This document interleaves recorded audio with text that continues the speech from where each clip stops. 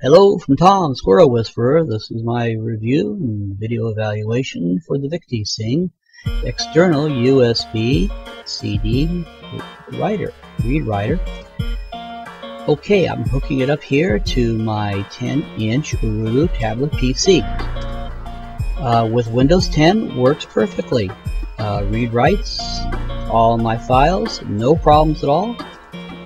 Immediately recognized it what won't it do? It will not uh, read uh, DVDs and it will not uh, successfully uh, pull in a mini CD or DVD drive so you want to watch for that but here you can see it uh, immediately finds and opens and controls the CD uh, machine USB CD rewrite machine. So uh, you have all the functionality from your tablet PC or laptop or any other type of machine that didn't come with a uh, CD rewriter.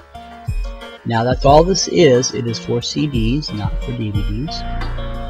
So it is limited in that scope.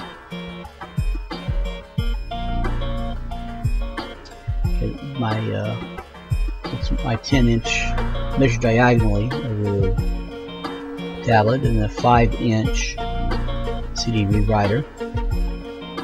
So I was saying it will not do DVDs or the mini uh, CDs.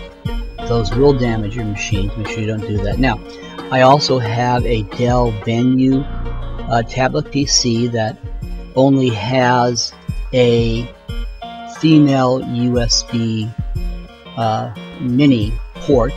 And so if you happen to have that type of machine uh, you could get just one of these type of adapters that will adapt in your uh, uh, uh female to male uh, adapter there. And you can plug your CD right on your CD writer right on into that. And that will work just fine for you so, uh, from Tom the uh, Squirrel Whisperer for the VicTsing external USB CD rewriter, I'm going to give it a full 4 Squirrel Up rating. I think it's a good machine, and uh, hope you enjoyed watching my review. Thank you.